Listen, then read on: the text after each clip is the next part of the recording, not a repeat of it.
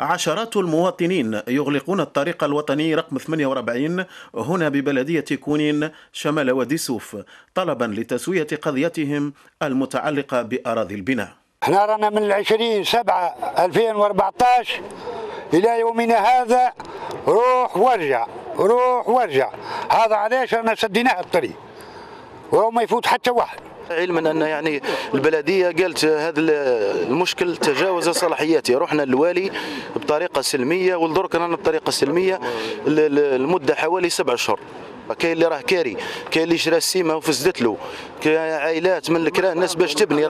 هذه التحصيصات السكنية المفترض تخصيصها للسكنات الريفية خصصت في وقت سابق لمستثمر عقاري. حتى جينا الوالي يفضلنا لنا المشكل هذا. تاع السكن لأن إحنا عندنا القرار رخصة البناء ترخيص. من 22 جويلية 2014 اليومنا هذا ما كان حد شيء.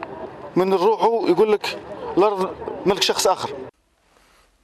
رئيس الدائرة نزل إلى المحتجين وتحاور معهم موضحا. الناس عندهم قرارات استفادة استفادوا 2002 قرار الاستفادة منين جاء؟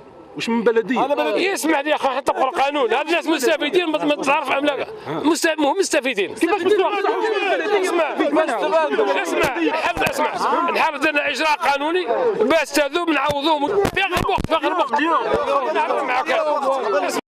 سبعة أشهر تمر على تخصيص هذه الأراضي لفائدة المحتجين غير أن ازدواجية التخصيص عطلت عملية البناء والكرة حاليا في مرمى السلطات